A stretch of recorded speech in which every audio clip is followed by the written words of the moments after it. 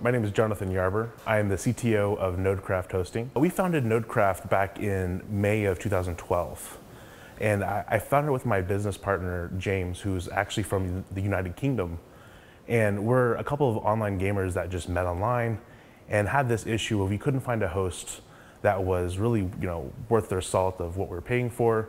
And we just got frustrated. We couldn't find anything that was like what we wanted or that could even provide what we needed.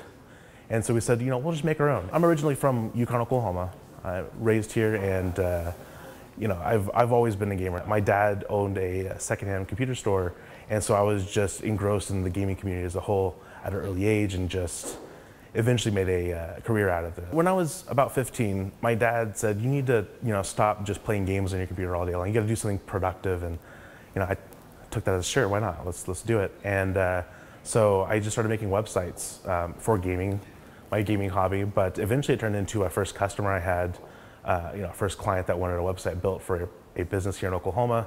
At the age of 16, I was actually building uh, businesses' websites, and eventually that turned into a consulting business that I ran for the next about four years. So the market for Nodecraft is, it's, it's a weird niche. We have a lot of gamers that are just, you know, young kids. But we also have a lot of adults that are, you know, 20s, 30s. We even have families. There's a lot of uh, complexity behind running your own server.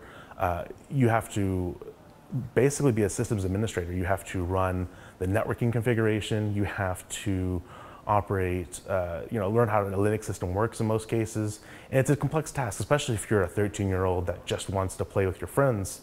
And so what we built is a platform that uh, allows you to just play. You, we handle all of the complexities of network configuration, all the complexities when uh, files need to be changed or updated. And we have customer support reps that'll actually help you get your server online. Well, our average uh, customer, you know, starts about 10 bucks a month.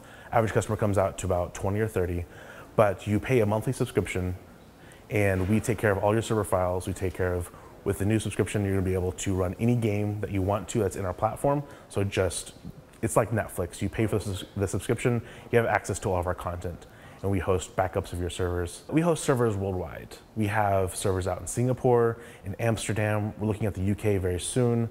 Uh, we have three different locations here in the States. We, what we found is that Starspace really gives us a network of support. Not only can I come chat with, you know, some other coworkers here that might be working on similar problems, but you know, just having other folks to you know grab lunch with is a huge thing. My name is Tommy Yee, and we're at Starspace 46. Um, and I'm one of the um, several co-founders of the space here.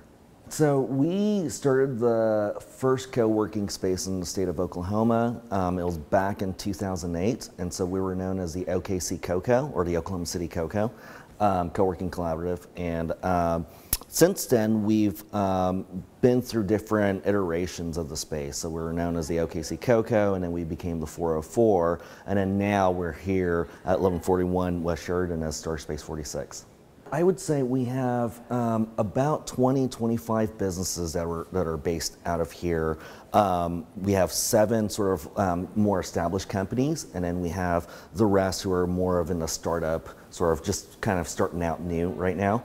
Um, about 60 to 70% of the businesses here are tech related, and then the other 30 to 40% are non tech related, but um, they do use technology um, in some function for their business.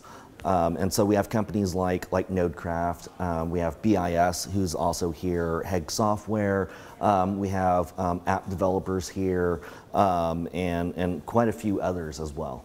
I think the thing that co-working spaces really bring is, is the community aspect. Um, you know, um, cheap offices are everywhere in Oklahoma, um, especially here in Oklahoma City, and, and people can certainly go work at a coffee shop.